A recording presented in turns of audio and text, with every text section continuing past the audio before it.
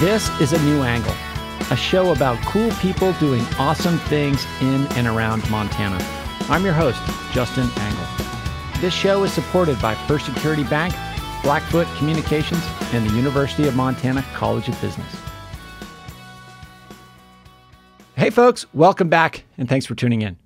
Today's guest is Ross Douthat, opinion columnist for the New York Times and author of several books on various topics, including religion, American decadence, and his experience with chronic Lyme disease. This trend where the working class used to be on the left and now votes for populist right wing parties, and the professional class used to be more on the center right and now is on the center left it seems to be just sort of a feature of the world of globalization. Ross will be joining the University of Montana community as a President's Lecture Series speaker on March 2nd. His talk is titled How Reaganism Became Trumpism. And we're excited today to get a preview of that talk and explore some of Ross's other areas of expertise and interest. Ross, thanks for coming on the show today. Thanks so much for having me. It's a pleasure. So tell us, where did you grow up and what did your parents do? So I was born in San Francisco in 1979, but, you know, for better or worse, we moved very quickly to the northeast of the United States. And so I ended up growing up in southern Connecticut, uh, mostly in New Haven, Connecticut, where for a variety of strange reasons, I've ended up living once again. I'm, I'm talking to you from, from New Haven. And my father was a sort of reluctant member of the legal profession. When he met my mother, she was in grad school at uh, Berkeley in English, and he had gone to law school but was painting houses for a living and didn't particularly want to be a lawyer. But they ended up in New Haven. He ended up becoming a personal injury lawyer, that exciting portion of the law. And my mother was mostly a homemaker when I was a kid, but has now reinvented herself as a essayist. She writes a lot of pieces for the religious magazine First Things. And my dad is retired from the law, uh, has published a book of poetry, and paints. So really, you know, they've they've covered all the bases. Yeah, certainly a lot of influences and, and paths in, in that family. How did you kind of find your way into journalism, opinion writing? and Give us the sort of potted bio of how, how Ross Douthat got to where he is today. So I always mostly was sure that I wanted to be a writer. So I was always doing some kind of journalism. In high school, my uh, one of my best friends was a guy named Michael Barbaro, who some listeners may know as the host of The Daily, uh, the New York Times is extremely popular podcast. And he and I, this was a pretty small high school, he and I uh, ran both the official school newspaper and the anonymous underground school newspaper and we sort of ran, you know, had a kind of private newspaper war between those two publications. You know, I, I, don't know if you could get away with that in the age of the internet, but so we were we were doing journalistic stuff from from the start. And I ended up going to college and uh, running the what was then the conservative newspaper at Harvard and also being a columnist, a sort of token conservative columnist for the more liberal Harvard Crimson. And getting a job from that. Uh, I was an intern at the conservative magazine National Review, but then uh, nobody offered me a job a senior year of college, except at the last minute. The owner of The Atlantic uh, decided he wanted to start. Back then, The Atlantic was based in Boston. He was in Washington. He wanted a satellite office in DC and uh, basically called up the Harvard Crimson and said, I want to interview, you know, interview some of your journalists for these entry level jobs. And I had a friend who got me one of those interviews. And from there, I basically, that was, that was how I entered professional journalism. Yeah. And so you mentioned writing um, kind of from the conservative perspective for a, a, long time. Talk about how your sort of political sensibility uh, developed. I know you've written extensively um, about religion, and religion is a recurring theme in your columns. Talk about that influence on your on your ideology.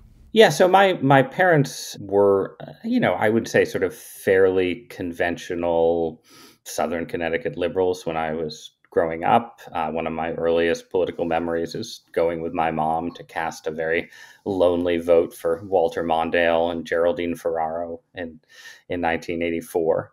But we had a lot of sort of eccentric interests and activities when I was a kid. My mother had a lot of uh, sort of allergies and sort of somewhat mysterious health problems.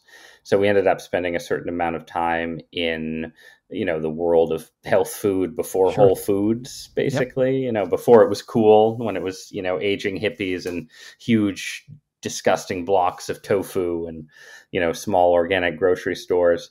But then uh, my mother also had a friend who invited her to go to these sort of essentially you'd call them Pentecostalist healing services, where she had a really strong mystical experience that basically sort of redirected our religious life from a kind of respectable Episcopalians to a sort of weird journey through American Christianity, where we were Pentecostalists and evangelicals, and then ended up converting to Roman Catholicism as a family when I was like 16 or 17. So I had a, a real mix of influences, but the religious dimension, I think, sort of inevitably, or maybe not inevitably, but it did make me, you know, somewhat more culturally conservative, um, more, you know, skeptical of abortion, things like that.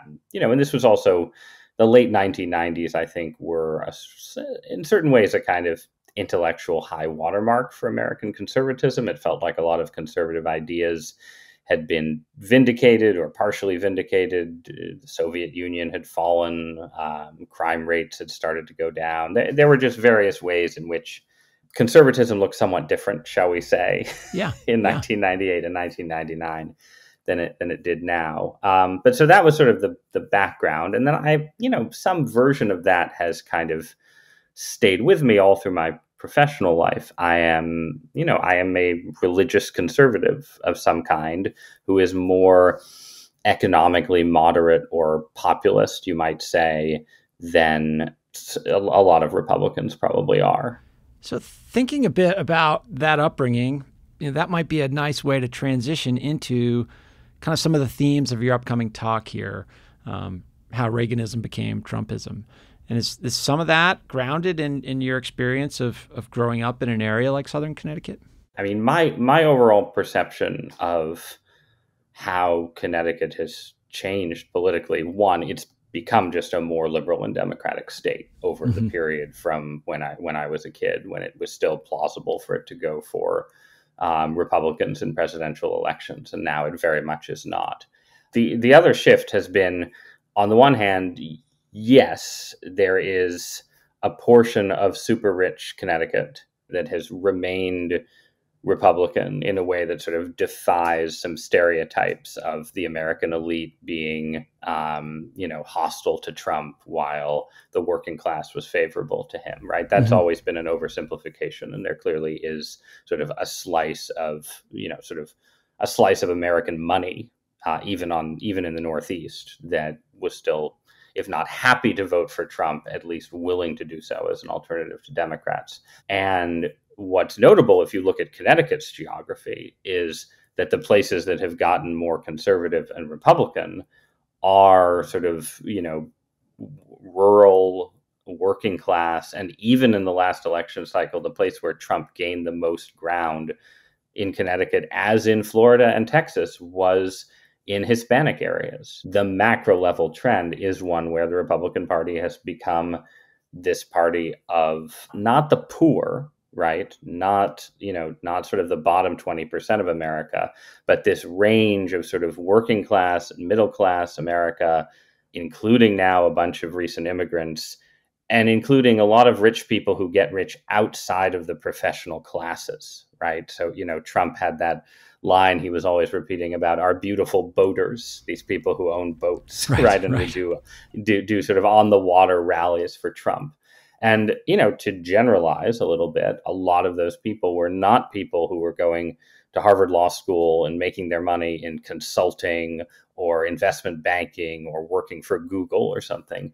They were people who had made their money running family businesses, running car dealerships, you know, which is real forms of wealth, right? There's there's real real money there, but it's a different slice of wealth than the kind of Ivy League, Silicon Valley, Washington, Wall Street world, which has become more liberal and and democratic. That's part of this transition of how the Republican Party has changed in the last 30, 40 years.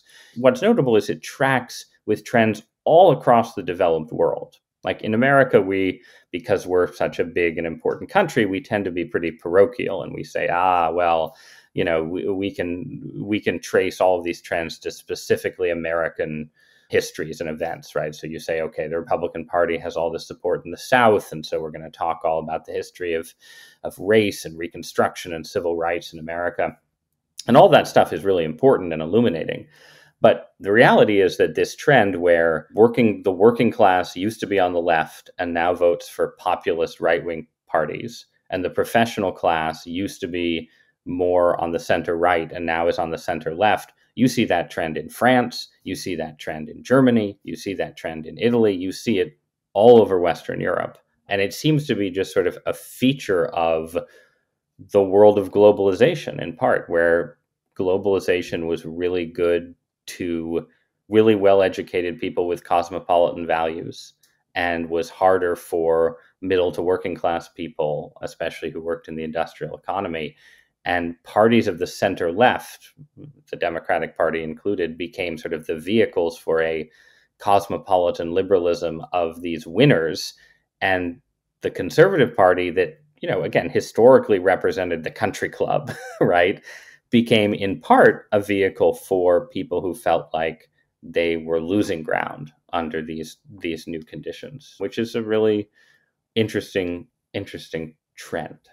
Yeah, and layered within that, the liberal folks and cultural elites and a lot of voters that I know tend to say like why is it that all those Trump supporters vote against their self-interest? I mean that seems to be like a common stereotype that a lot of liberals hold. Describe how that slice of the population that you described a few moments ago came to favor the positions of the, the Republican candidates and, and a candidate like Trump in particular. There's a couple things going on there, right? Which is one one is that part of the reality that is described in that question is just a reality that liberals should know well too, right? Which is that in a society that's pretty wealthy, that isn't thank God, undergoing sort of Great Depression style economic disaster, people tend to put more priority on culture and cultural values sometimes than they do on economic values. And they tend to see their interests as bound up in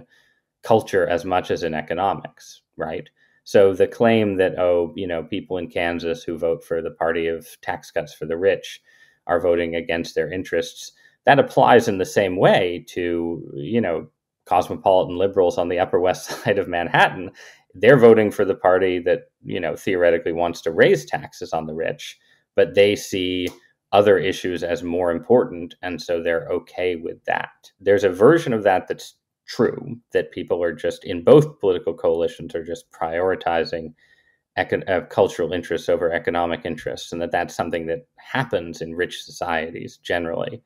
But the other reality is that you know the Republican Party changed in in different ways uh, over the last twenty or thirty years, right? So George W. Bush was a very different kind of candidate than Bob Dole had been in 1996. George W. Bush he tried to woo middle class voters by promising not just tax cuts for the rich, but to spend more money on education, mm-hmm. right? To, yeah. You know, no child left behind. he ended up expanding Medicare, all of these things, right? So, for a certain segment of the middle class, voting for George W. Bush wasn't clearly against their economic interests. And then in the era of the Tea Party and Paul Ryan and Mitt Romney, the Republican Party sort of swung more in a libertarian direction was more likely to urge cutting entitlements, all of these things. And as a result, a bunch of voters who had voted for George W. Bush swung back to the Democrats. So they they did vote their economic interests. They swung away from the Republicans as the Republicans became more cut government, you know, cut taxes and cut government, right? And then Trump comes along and he just jettisons all of that you know all of paul ryan's beautiful blueprints for reforming medicare right all of yeah, that stuff that yeah. You know for those of us who write about policy seemed so important in 2011 2012 trump just swept it all away and so in various ways it wouldn't be surprising like if you were let's say, a you know a, a Hispanic small business owner in South Florida, right? Uh, you know, you're not wealthy, um, you're also not poor, but you you know you see in Trump someone who is speaking not just to your cultural concerns about uh, you know whatever the progressives are getting up to at Harvard and Yale, but also you know someone who's delivered pre-COVID a pretty good economy. There are ways in which, for a portion of middle and working class America, Republican policies, especially once Trump jettisoned some of the you know let's cut Medicare stuff, became more economically appealing. Um, and again, these these voters are not the they're not poor right? The the poorest Americans are either uh, they're unlikely to vote, but they're also still more likely to vote Democratic. The core of this new populist conservatism is this sort of range of, you know, the wage earning working class, the small business owner that is economically precarious, but not, you know, not deeply dependent on government programs in the day to day until they retire when they expect to get Medicare and Social Security. We'll be back to my conversation with Ross Douthat after this short break. A New Angle is supported by First Security Bank, Blackfoot Communications, and UM's College of Business. Access to capital, broadband, and education are three ingredients any community needs for success. Hey folks, this episode of A New Angle is brought to you by ALPS, the largest direct writer of lawyers' malpractice insurance based right here in Missoula, Montana. Not only does ALPS provide outstanding insurance products and risk management resources, they also pride themselves on making the insurance process as easy as possible for their busy policyholders. Beyond that, ALPS was named a 2021 Best Place to Work in Montana. So, if you value creativity and innovation, and want to work in a supportive and nurturing culture, check out career options at ALPS. They want to hire Montana's best. To learn more, visit www.alpsinsurance.com. This is Meg Oliver, CBS News correspondent, and you're listening to A New Angle. Welcome back to A New Angle. I'm speaking with New York Times opinion writer Ross Douthat about the state of American politics. Trump sort of said a lot of the unsaid things that kind of existed almost between and distinct from the traditional party platforms. And then as he's gaining connection as sort of a populist with these new coalitions, there is this kind of rise of, you know, when you layer in the, you know, George Floyd killing and the rise of social justice and wokeism, for, for lack of a better term, it seems like the left what what Trumpism has done to the to the Democratic Party is really interesting to think about too.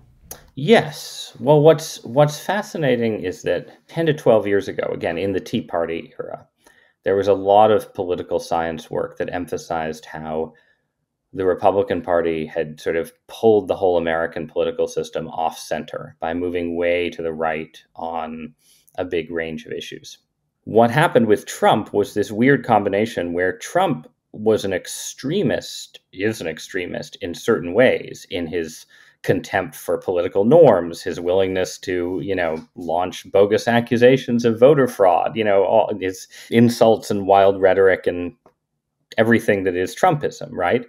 But then on policy, he actually did in certain ways move the Republican Party back towards the center, especially on economic issues. And meanwhile, the, the Democratic Party, which, you know, while Trump was president, on the one hand was spending tons of time talking about itself as like the defender of norms and, you know, sort of the, the defender of sort of the defender of democracy, defender of American institutions on issues, on ideological issues, swung way to the left. And this isn't just true on the issues that we think of as you know sort of the woke issues. It's also just true on economics too, right? That the we we've just been through this period of intense and acrimonious democratic negotiation over the Build Back Better bill. And in that negotiation, the position of Joe Manchin, who is now the conservative in the Democratic Party and is sort of, you know, makes progressive groups very angry because of that. Manchin's position was the position of Barack Obama right, in 2010. Right. The idea mm-hmm. that you know you need your new spending to be paid for, you need to worry about the budget deficit, all these things, and that's part of the the weirdness of our time, right? You have the Republican Party is more procedurally radical, more willing to you know say things and pick fights that um, you know seem to threaten sort of basic democratic values.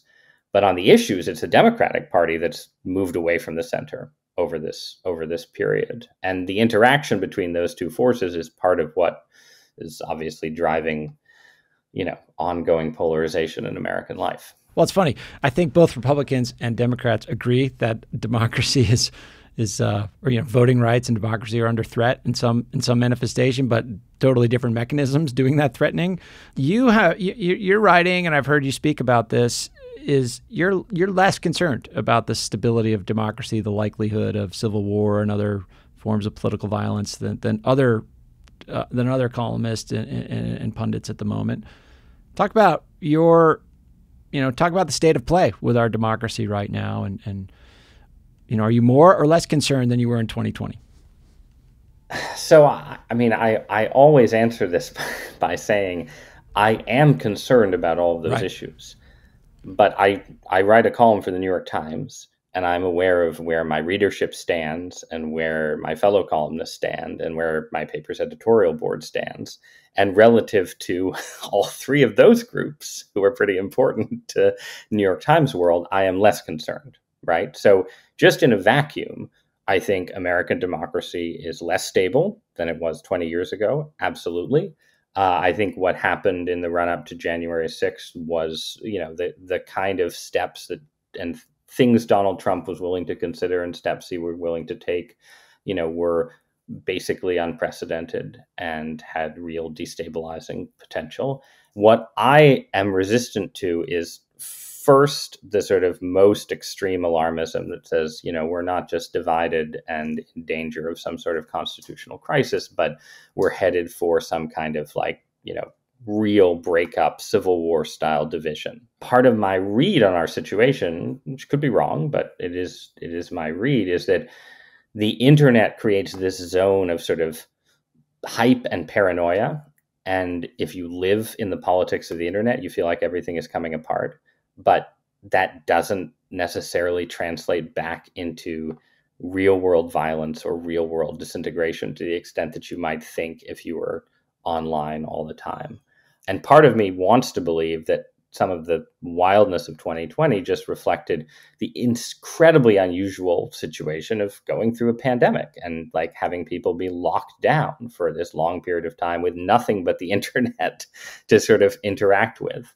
Um, and I think it drove part of the right crazy. I think it drove part of the left crazy, and it gave us these sort of different manifestations of that craziness. But my my hope is that as we continue to come out of the the COVID era, you don't get that kind of weird political psychological pressure on people that you had for six months to a year in 2020. Uh, yeah, I certainly appreciate that perspective and and and and kind of am hopeful that's the way it plays out.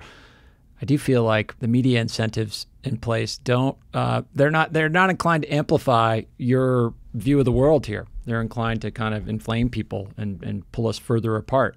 Can you talk a little bit about the, the media environment right now we're living through? In sort of what you might call the liberal media, there is a little amplification of my views because every time I write something saying this, That's I true. get attacked yep. by get attacked by everybody, and people invite me on their podcast to tell me why I'm wrong. So I, you know, I think I I went on CNN after I wrote one of these, you know, we're not headed for a civil war pieces, and Anderson Cooper said, "Well, it's really good to have you on as a contrarian voice, Ross." And so, you know, I mean, I I get I get I get my ideas out there. I think that the challenge, though, yeah, is that there is this sort of fundamental dynamic where the internet has made the media environment much more ruthlessly competitive, much more nationalized. So local journalism and you know mid-sized newspapers and so on that have this local or regional focus are less important.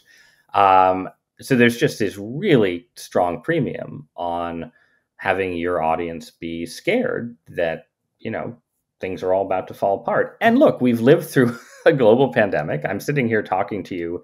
My Twitter feed is reporting people saying, you know, Putin has made the decision to invade Ukraine, right? Like, this is a highly re- relative to 1997, this is a really unstable period. Donald Trump was, you know, really unstable, destabilizing figure. The media is not making this up, right? There are genuine things to be seriously concerned about, but the pressure is all the the commercial pressure. Let's be honest, is all to always hype that. It is hard psychologically to break out of that cycle of of mutual escalation, in part because of the media incentives for everyone. On a lighter note, I think, listen, I mean, you, you write about a lot of serious topics, important topics, thoughtful topics. You come across as a very serious guy. What do you do for fun? What puts a smile on your face? There's no such thing as fun in this business, my friend. Uh, I mean, we we have four kids. Uh, yeah. Okay are age 11, 9, 6, and almost 2. And honestly, the most fun that I've had throughout the pandemic, and I mean this totally sincerely, is that we just started. It started when we were everyone was in quarantine and you couldn't go anywhere indoors. But you know, we have a minivan. You bundle the kids into the minivan. They're strapped in so they can't assault each other. Uh, you get yourself a nice a nice cafe latte, like a good northeastern liberal presumably in Montana, people would drink something stronger. And you drive around, and we don't have the you know insane natural beauty uh, that you have out in the West on the East Coast, but we have a lot of really nice state parks, a lot of nice you know woods and streams and beaches and so on. And Sunday afternoon drive, walking around outside for a couple hours, letting the kids blow off steam, having a tiny bit of adult time in the front seat with your with your wife, maybe taking her to an antique store. That is for better or worse, that and some bike riding is a big part of what I've done for fun in the pandemic. I mean, I also I write movie reviews for National Review. I consume a lot of pop culture and read a lot of fantasy novels and so on. But in terms of stuff that I think about from the last couple years, it's those drives around Connecticut with with the family to get out of the house and get out into reality that are really important. There, there's this expression that people use in the very online world of touch grass. Have you ever heard that expression? Uh, vaguely. Tell us about it. Yeah, it just I think it just means that, you know, we all live in these virtual worlds more and more right. and it's really important to literally touch grass, maybe touch a bison, you know, depending on which part of the country you're in. But yeah. getting getting out of your screen and getting out into the world, I think, is just a really important feature of seeing the world clearly and not just through the prism of your iPhone. Absolutely. Well, hopefully, when you're here in Montana, you'll have an opportunity to do uh, at least a little bit of that. Um, again, Ross's talk will be in person at 7 p.m. on Thursday, March 2nd in the Dennison Theater at the University of Montana. For tickets, visit www.umt.edu slash president. Ross, it's been fantastic learning more about you and your work today. I think you'll find a, a, an intriguing and engaged audience here in Montana. And uh, yeah, we're looking forward to having you on campus. Thanks for being here today. I'm, I'm looking forward to coming. Thanks so much for having me.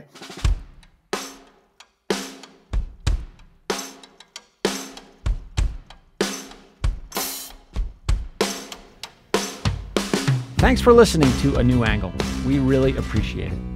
And we're coming to you from Studio 49, a generous gift from University of Montana alums Michelle and Lauren Hanson.